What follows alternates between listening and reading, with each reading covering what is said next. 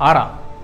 இந்த ஆறா அப்படிங்கிறது மனித உடலில் வந்து ரெண்டு அடி இருக்குங்கிறாங்க. எட்டு அடி பதினாறு அடி நம்மளை சுற்றி இருக்கும் அப்படின்னு சொல்கிறாங்க உண்மையாகவே ஆறாங்கிறது நம்ம உடம்புல இருந்து எவ்வளோ தூரம் இருக்கும்? இந்த ஆறாவை ரெடியூஸ் பண்ண முடியும் இன்க்ரீஸ் பண்ண முடியும் அப்படிங்கிறாங்க. எப்படி நம்ம அதை அதிகப்படுத்துறது குறைக்கிறது? இந்த ஆறாவுடைய பயன்கள் என்ன? இந்த ஆறா வச்சு நம்மளால் என்ன பண்ண முடியும்? ஆறாவுக்கு பின்னாடி இருக்கிற சயின்ஸ் என்ன? இந்த பாசிட்டிவ் எனர்ஜி நெகட்டிவ் எனர்ஜி ஆறாவுக்கு பின்னாடி சயின்ஸ் இருக்கா? வணக்கம். நான் உங்கள் மிஸ்டர் சிக்கே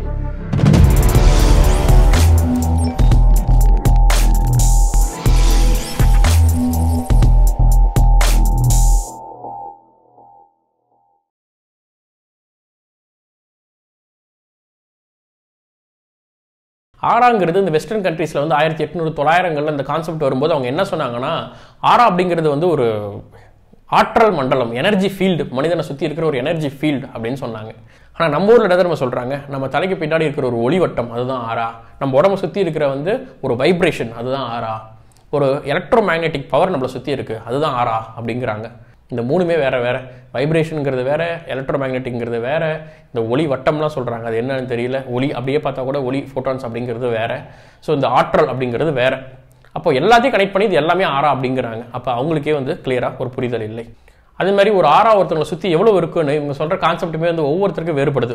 ஆவரேஜாக சராசரியாக ஒரு மனிதருக்கு வந்து ஒரு ஒரு ஈக்குவலாக இருக்கணும் இல்லையா? ஒருத்தர் எட்டு அடிங்கிறாரு ஒருத்தர் பத்து அடிங்கிறாரு ஒருத்தர் பன்னெண்டு பதினாறுன்னு அந்த ஆவரேஜும் மாறுபடுது. இன்னொரு விஷயம் சொல்கிறாங்க நம்ம உடம்புல ஆறா அதிகமாக இருந்தால் நம்ம ஹெல்த்தியாக இருப்போமா?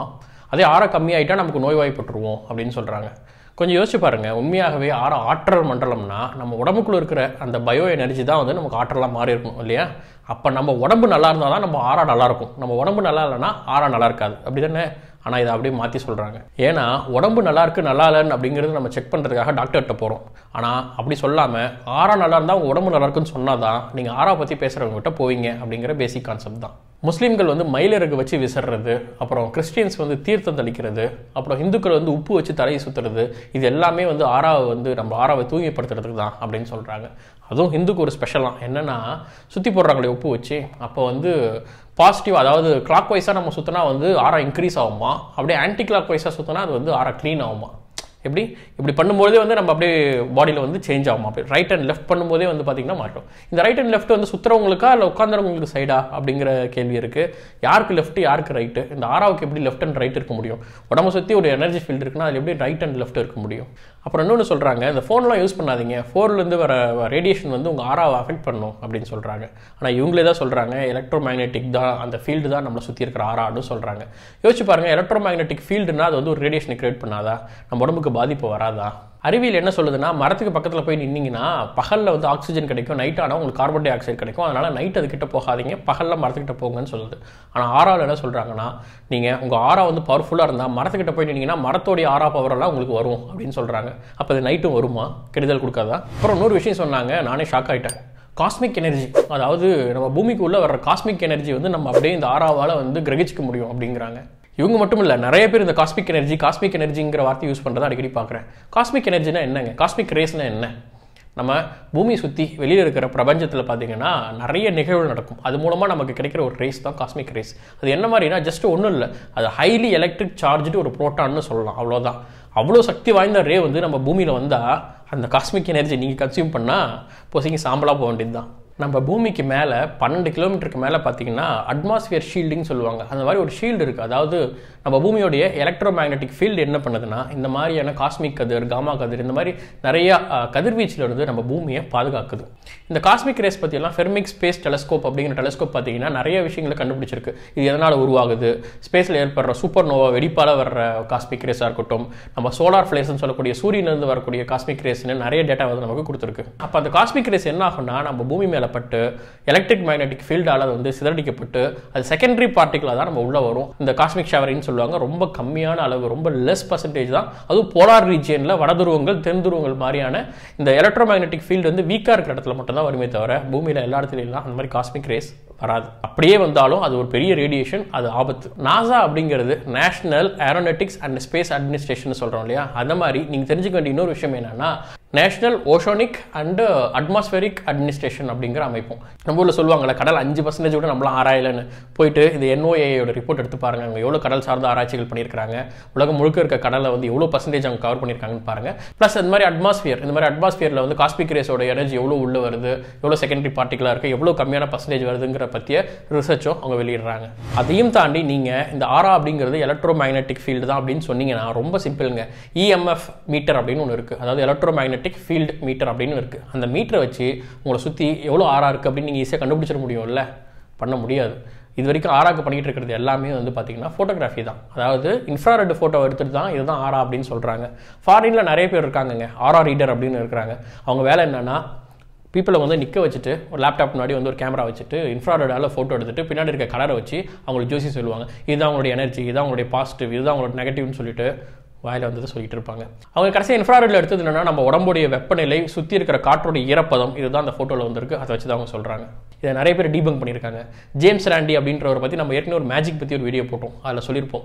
அவர் நிறைய விஷயங்கள் இந்த மாதிரி பேரானார்மல் ஆக்டிவிட்டி இந்த மாதிரி மென்டலிஸ்ட்டுன்னு சொல்கிறவங்க இந்த மாதிரி வந்து ஆரா இந்த மாதிரி கான்செப்ட்ஸ்லாம் நிறைய டீபங் பண்ணியிருக்காரு. இதெல்லாம் ரொம்ப பழைய விஷயம் அங்கே. அவர் பல வருஷங்களுக்கு முன்னாடி டீபங்க் பண்ண வீடியோ கூட கீழே லிங்க்ல கொடுக்குறேன். போய் பாருங்க. ரொம்ப சிம்பிள்ங்க நீங்கள் சயின்ஸ்னு சொன்னீங்கன்னா சயின்ஸ் இஸ் கிளியர்லி டெமான்ஸ்ட்ரபிள் அதாவது நீங்கள் வந்து எல்லார்கிட்டையும் டெமோ பண்ணி காட்ட முடியும் சயின்ஸ் அப்படிங்கிறத. அப்புறம் சில பேர் வீடியோவில் குறிப்பிடுறாங்க இந்த பயோ எனர்ஜி உடம்புக்குள்ள இருக்கிற பயோ எனர்ஜி அதான் அந்த ஆற்றல் அதுதான் வந்து ஆறாவா இருக்குங்கிறாங்க. யோசிச்சு பாருங்க பயோனர்ஜிங்கிறது உயிர் உள்ள பொருள் தான் இருக்கும். இறந்த பொருளுக்கு எப்படி இருக்கும்? இறந்து போன பொருள் கீழே இருக்கிற நெட்டு ஸ்க்ரூ போல்டு எல்லாத்துக்குமே ஆறா இருக்கு அப்படின்னு சொல்றாங்க. அப்போ நம்ம உடம்புல எலக்ட்ரோ மேக்னெட்டிக் ஃபீல்டே இல்லையா அப்படின்னு கேட்டிங்கன்னா இருக்கு.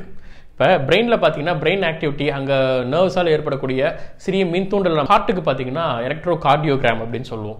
இதில் வந்து சின்ன சின்ன சின்ன மின் தூண்டுதல் நம்ம உடம்புக்குள்ள இருக்கிற ரொம்ப minor level less than percentage அப்படின்னு சொல்லலாம்.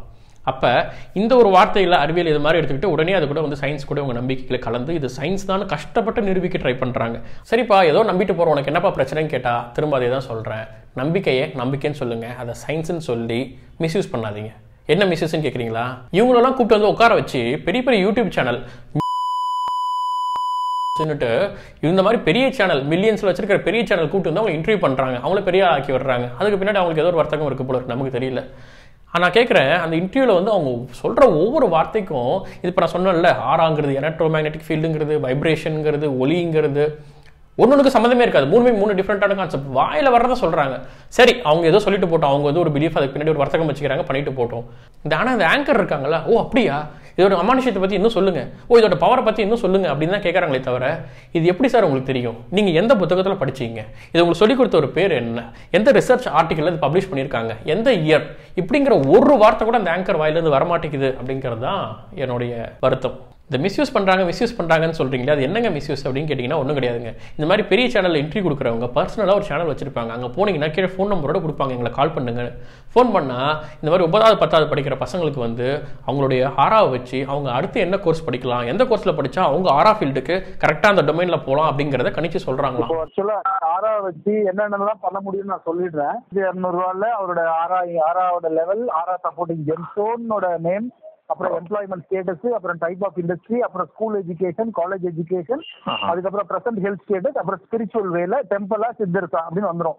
சரி நான் கூட ஓகே போய் நேரில் நின்னா நம்மள ஃபோட்டோ எடுத்து அந்த பின்னாடி வந்து அந்த ஆராக்குன்னு சில அந்த ஒரு கலர்ஃபுல் ஃபோட்டோ காட்டுவாங்க. அதை வச்சு இவங்க எக்ஸ்பிளைன் பண்ணுவாங்கன்னு பார்த்தா அது கிடையாதான்? எல்லாமே போட்டோ தான். ஆனா டைரக்ட் கன்சல்டிங் கிடையாது. எல்லாமே போட்டோகிராஃப் மூலமா தான் பண்ணிட்டு இருக்கோம் ரொம்ப விவரமா அட்ரஸ் கொடுக்கக்கூடாதுன்னு என்ன பண்றாங்க? நீங்க ஜஸ்ட் வாட்ஸ்அப்ல அவங்களுடைய போட்டோவும் நம்பரும் அவங்க பேரும் மட்டும் கொடுங்க. நாங்க அவங்கள பத்தி எல்லாமே ஏ டு Z சொல்லிடுறோம் அப்படிங்கிறாங்க. Just thousand two hundred rupees இதுக்கு சார்ஜ் அவ்வளோதாங்கிறாங்க எப்படி?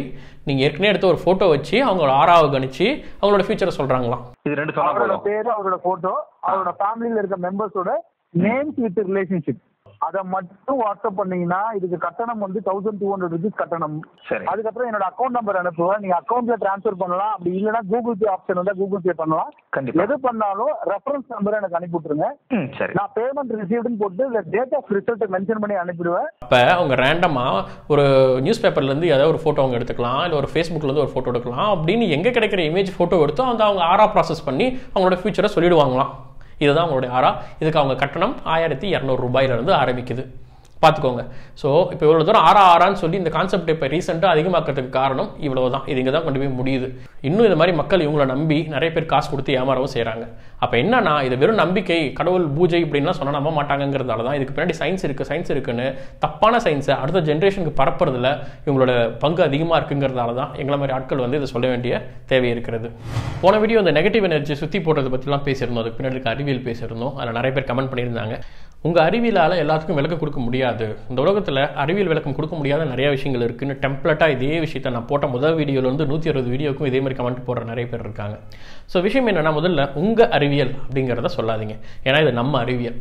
நீங்கள் வந்து ஃபோனில் தான் அதை பார்க்குறீங்க இந்த வீடியோவே. இல்லை லேப்டாப்பில் பார்க்குறீங்க. இன்டர்நெட்டுன்னு ஒன்று இருக்குது அது மட்டும் இல்லாமல் இந்த ஒய்ஃபை இது எல்லா சயின்ஸையும் பயன்படுத்திக்கிட்டு அந்த சயின்ஸ் மூலமாகவே நீங்கள் கமெண்ட்டை டைப் பண்ணும்போது உங்கள் அறிவியல்னு எழுதாதீங்க. இது நம்ம அறிவியல். நீங்கள் சொல்கிறது உண்மைதான்.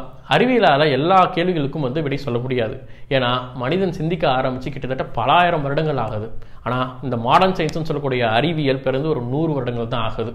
அதனால் இந்த குழந்தை இப்போ தான் பிறந்திருக்கு. அது எழுந்து தவழ ஆரம்பிச்சிருக்குது. கூடிய சீக்கிரம் அது நடக்கும் பொழுது பேசும் பொழுது பல கேள்விகளுக்கு விடை கிடைக்கும். எல்லா வீடியோலையும் வர காமனான கமெண்ட் என்னன்னா சயின்ஸ் அது மாறிட்டே இருக்குங்க. நேற்று ஒன்று சொல்லுவாங்க இன்றைக்கி ஒன்று சொல்லுவாங்க.